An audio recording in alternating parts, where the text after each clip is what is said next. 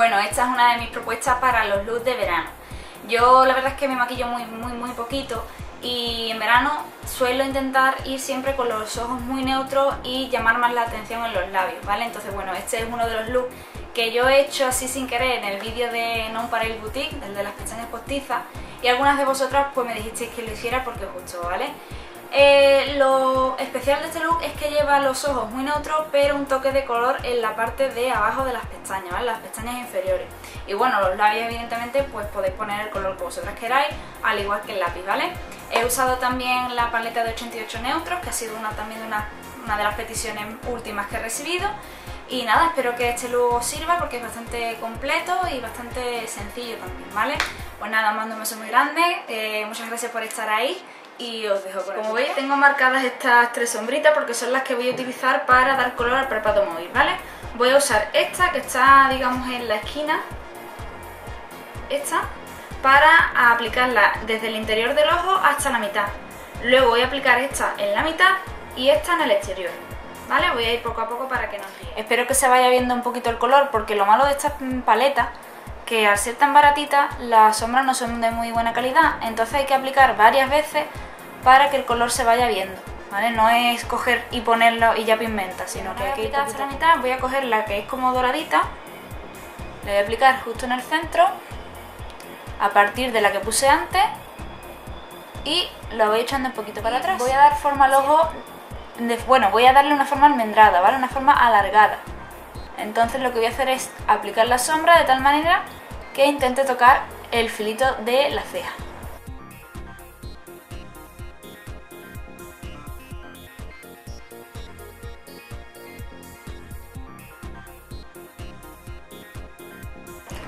Voy a difuminar un poquito el corte.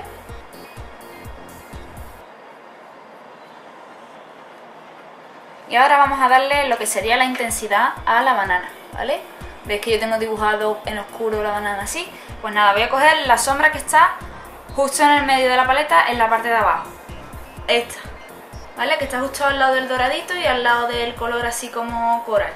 Pues esta, la más oscura, y lo que voy a hacer es aplicarla con un pincel tipo boli. ¿Vale? De estos que son tan, tan conocidos, que son lo más cómodo para trabajar.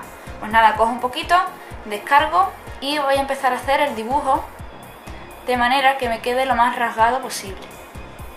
¿Vale? Hago así. Y ahora voy a dibujar la banana de forma que se me note, porque podéis hacerlo de muchas maneras. Es decir, aplicar y difuminar directamente para que no se note mucho, o como lo que yo quiero hacer, que es que se quede, ¿veis? Como la línea, la línea marcada. Así que nada, voy a ir poco a poco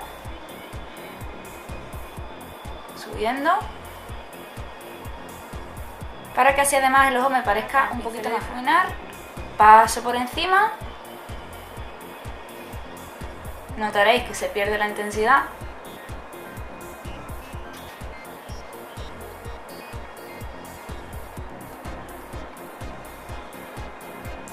meto hacia adentro, vuelvo a difuminar. Y ahora toca aplicar otra vez sombra para que no se pierda la intensidad. Voy a difuminar un poquito lo que sería la parte de arriba. Y nada, esta no, vamos, cogéis una sombra marroncita muy clara, muy clara, muy clara mate, os no la voy a enseñar porque bueno, podéis coger la que vosotras veáis.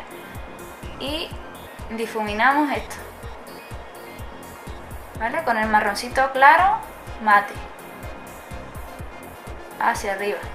Termino de iluminar con una sombra vainilla muy clarita, mate, justo debajo del hueso de las cejas. Limpio un poquito por aquí. Y delinearme desde la línea de, de la... Ay, que no me sale del lagrimal. Hasta el final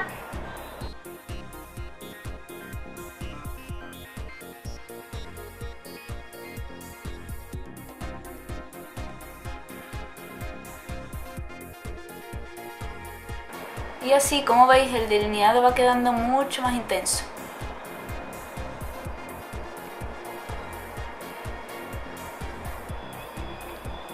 Al final voy a usar un truquito que me gusta a mí mucho, que me lo enseñó Makeup Goddess, que es eh, unir con la formita que hemos hecho antes de la sombra marrón.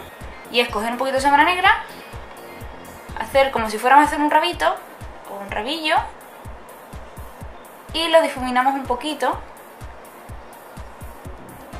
¿Vale? Entonces se va a quedar el ojo, ¿veis? Un, como un pequeño rabito, pero no queda tan intenso. Queda como más integrado en el maquillaje. Y lo unimos un poquito.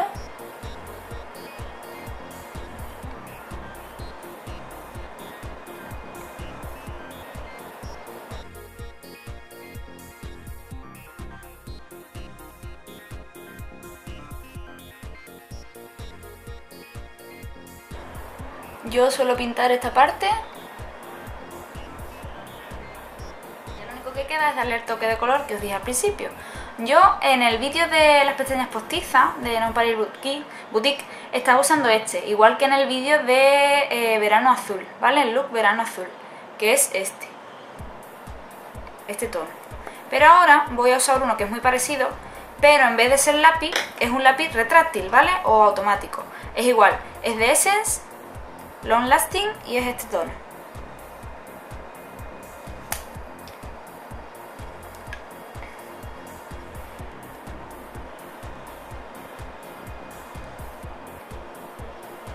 Una sombra brillante, blanca brillante aquí.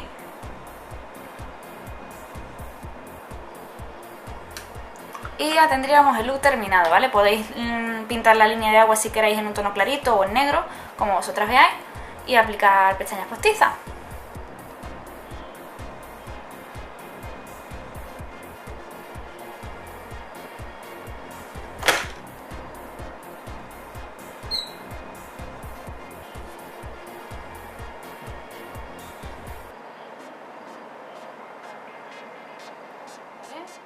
Como veis da bastante luz a la mirada, abre bastante el ojo y si seguís los pasos del corte del pliegue va a hacer el ojo un poquito más grande.